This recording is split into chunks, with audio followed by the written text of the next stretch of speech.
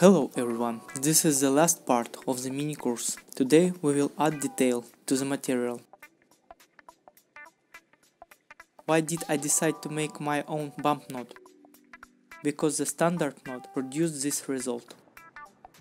I found on internet how to make a shader that convert a normal map from a height map, but ran into a problem in the code in offset the texture inside the node. Hello Lubos, please help me to solve this problem and I will complete this node and put it in public use to enable us Armor Paint user to use this feature until you fix the standard node. One day an idea came to me. Yes, I cannot make this code for this node, but I know what the program should do and I have all the tools for this inside the Armor Paint. I put this code together as a bunch of nodes and it works. You can download it from the link in the description. This is not a solution to the problem, it is a temporary measure. We import it into the material slot, load the map into it. We need 3 copies. Connect it as in the video. This file controls the track of the normal map.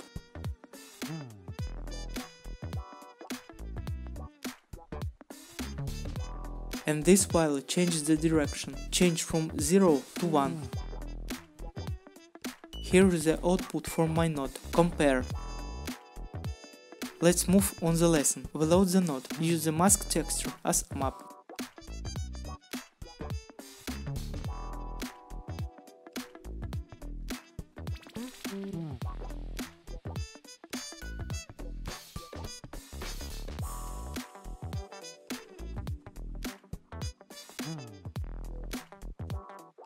Assign to detail. Set the required strength value. Convert the layer to painting layer.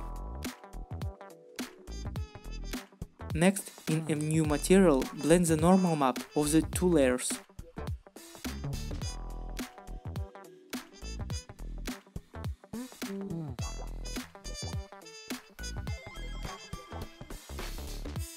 Result, the paint is now thickness. For me, the material has become more interesting. Next step, decals. Change the texture.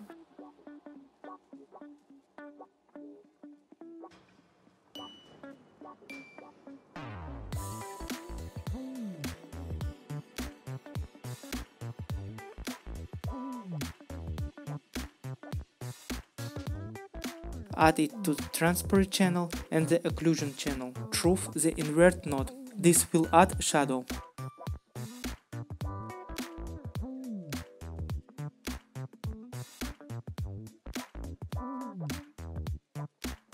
Select the stamp tool and draw.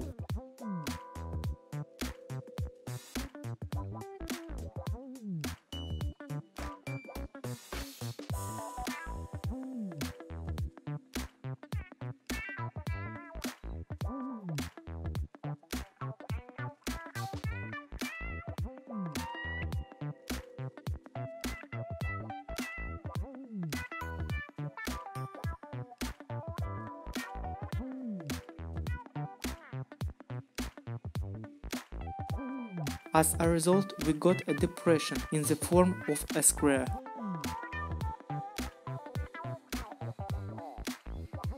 Change the texture.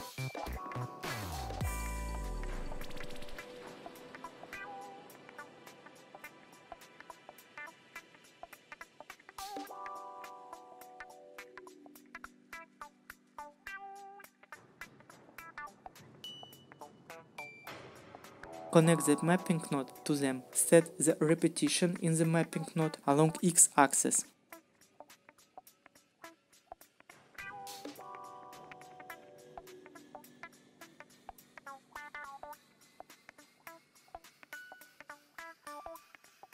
Select the stamp tool and adjust the scale, rotation and X-ray mode. We draw a lattice.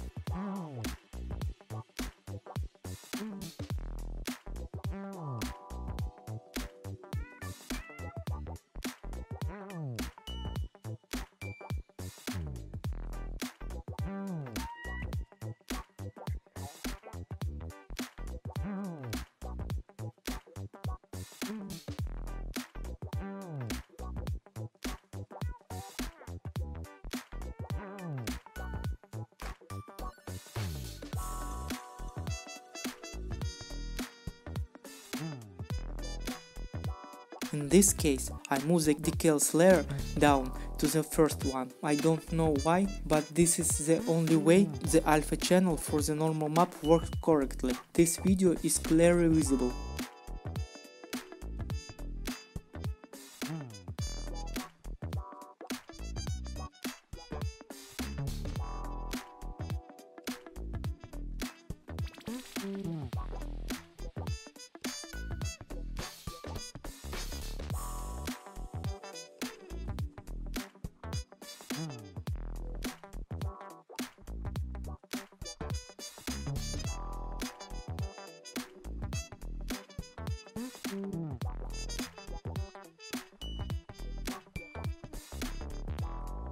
Following the sample principle, I add the next item to the panel.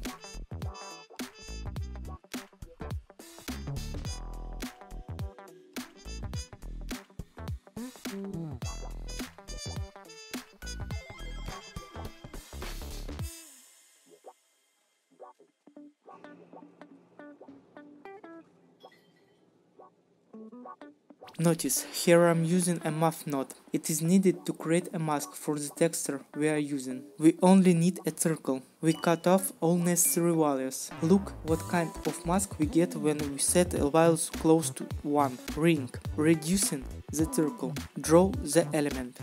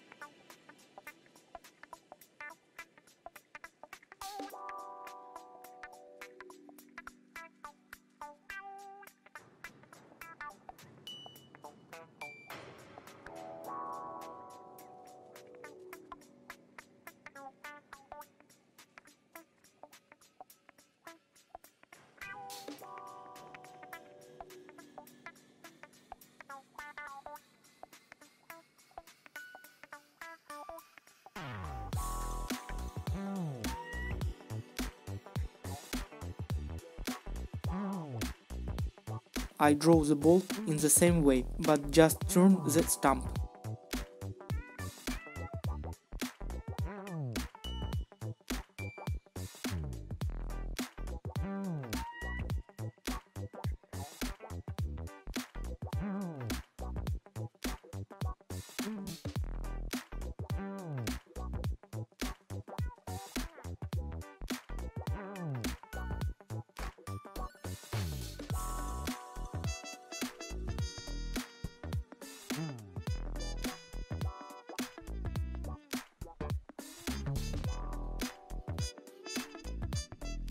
This is before and after.